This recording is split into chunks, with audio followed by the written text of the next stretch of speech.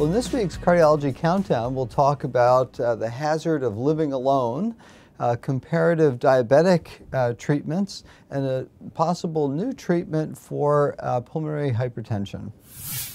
Begin with the uh, study looking at the hazard of living alone was recently published in the Annals, uh, coming from an interesting source, an eye exam with five and 10 year follow up.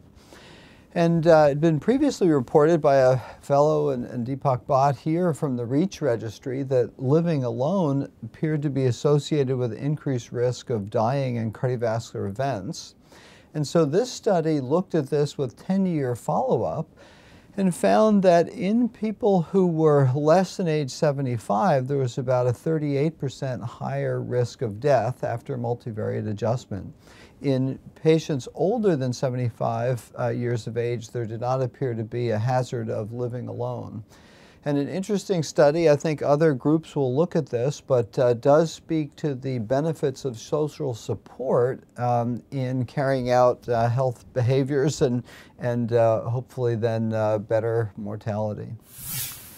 The next study is the Duration 6 study that was a comparative study of two different uh, injectable uh, glucagon-like peptide receptor antagonists, or GLP-1 receptor antagonists. It compared the once-a-week exenatide preparation with the once-daily liraglutide and looked at the uh, glycosylated hemoglobin reduction with the two uh, and side effects.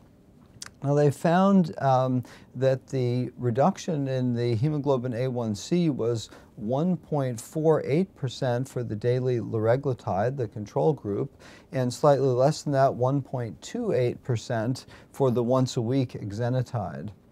In this comparison that titrated quickly to higher doses of liraglutide, the exenatide uh, was better tolerated uh, with lower rates of nausea, 9 versus 21 percent, uh, favoring exenatide, and vomiting was uh, 4 versus 11 percent.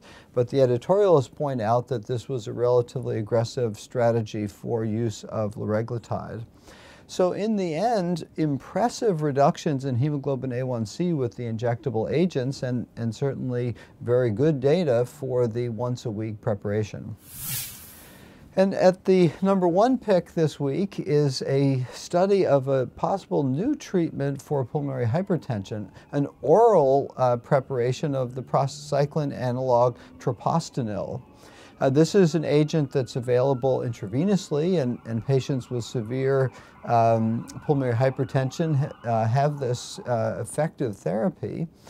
Th this study carried out an oral preparation versus placebo in patients not on other treatments, and so in the early phase, and found a significant improvement in the six minute walk in terms of exercise tolerance. It was reasonably well tolerated for a class of drugs like this, but about two-thirds of patients complaining of headache, not surprisingly, with the vasodilator, and 39% with uh, nausea and, and diarrhea. Um, and so this opens the door to it being a possible oral treatment uh, for early pulmonary hypertension. So for this week's Cardiology Countdown, I'm Chris Cannon.